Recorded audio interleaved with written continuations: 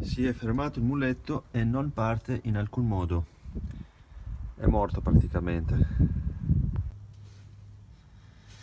Ho scoperto che c'è il tubo, questo qui che sto sfilando, che ha perso la fascetta, vedete che non c'è più, non so dove è andata a finire.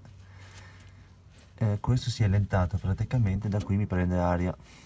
Eh, si, sfila, si sfila subito, non, non, ci sta appena appena a mano. Eh, di conseguenza mi ha preso aria, preso aria, adesso non parte più.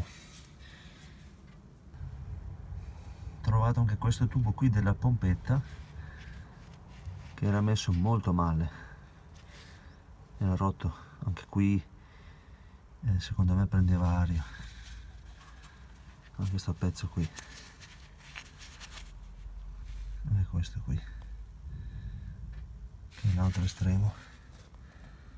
Tagliato da qui adesso il resto è messo bene.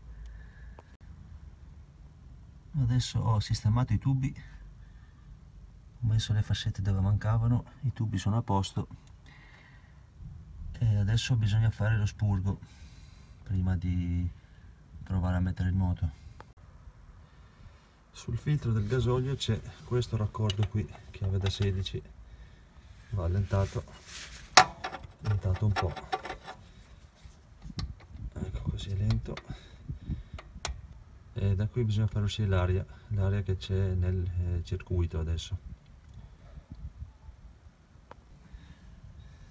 Dopo aver entrato il raccordo da qui bisogna cominciare a pompare dalla pompetta qui iniziare a pompare finché non vediamo che da qui non inizia a spurgare. Eh, si continua a pompare finché qui non esce proprio il, il gasolio che si vede che non escono più delle bolle d'aria. E poi si chiude subito. Adesso io l'ho chiuso perché mm, l'ho pompato finché non è venuto fuori il, il, il gasolio e l'ho chiuso subito. E dopo averlo chiuso si continua a pompare ancora 5-6 volte e poi, e poi basta. Poi si prova a mettere in moto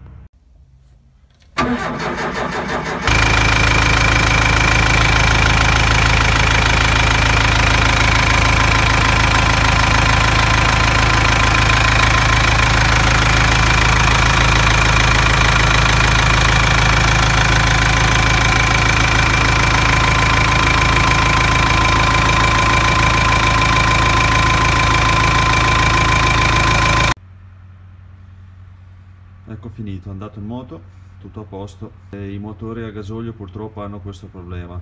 Ne parlo dei motori datati, è questo il muletto. Se rimangono senza gasolio, se per qualche altro motivo ci finisce dell'aria nel circuito, eh, non partono più.